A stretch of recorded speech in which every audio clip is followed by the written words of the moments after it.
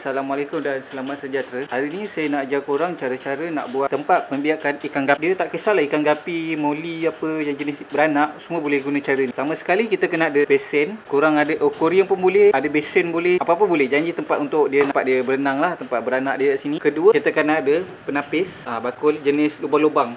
Okey, jenis lubang-lubang macam ni. Saya sedia pastikan yang jenis induk dia tak boleh keluar daripada lubang ni lah. So, anak dia akan jatuh dekat bawah ni. Okey, yang kat lubang ni supaya nanti induk dia tak dapat makan anak, anak dia yang anak gapi tu dia akan dapat lagi banyak lah anak dia nanti. Kita akan guna teknik ni lah. Kena kena pakai dua.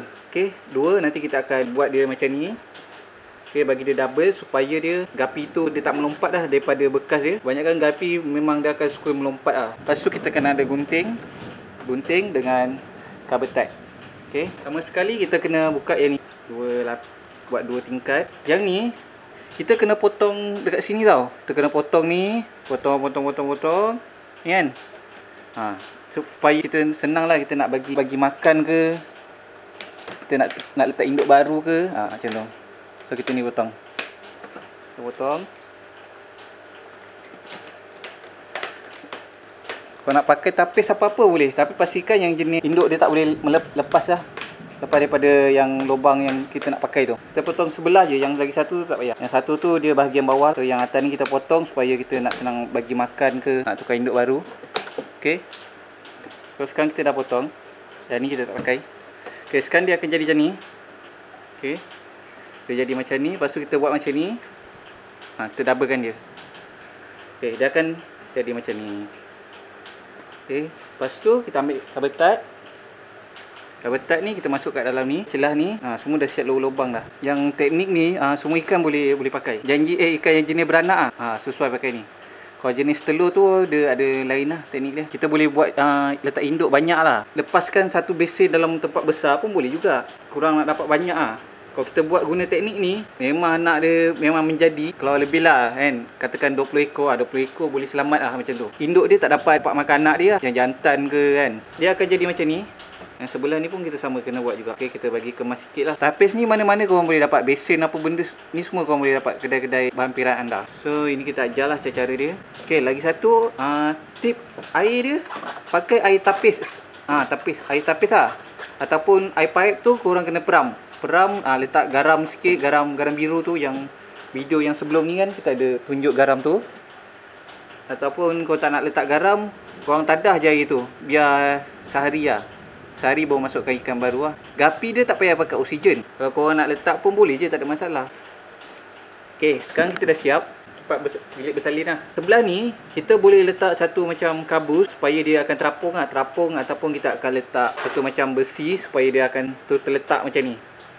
Okay, okay. sekarang ni kita buat contoh dulu eh. Besen. Okay, kita dah letak air. Kita letak air dalam dalam sejengkal macam ni kan. Dalam tinggi ni lah. Ha, dalam tinggi-tinggi ni.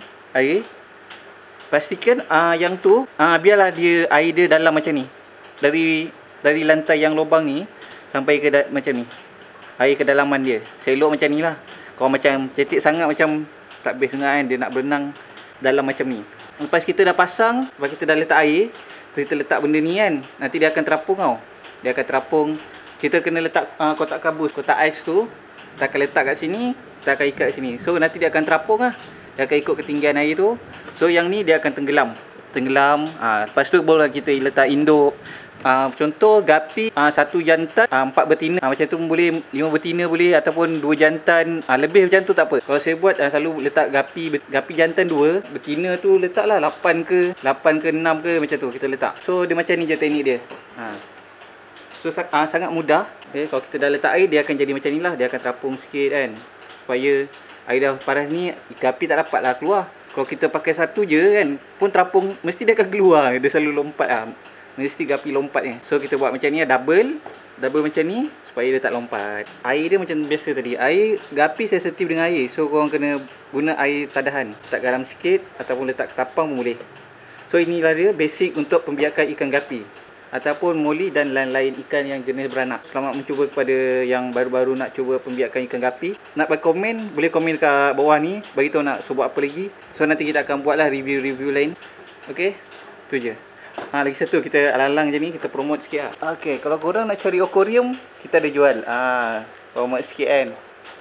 Uh, kita ada jual aquarium set. Uh, filter dia tu, filter kita kita bulat span tu. Uh, garam biru. Aquarium set. Uh, aquarium yang viral ni. Okay. So korang boleh uh, boleh WhatsApp. Post pun kita layan. Okay. Okay, bye bye.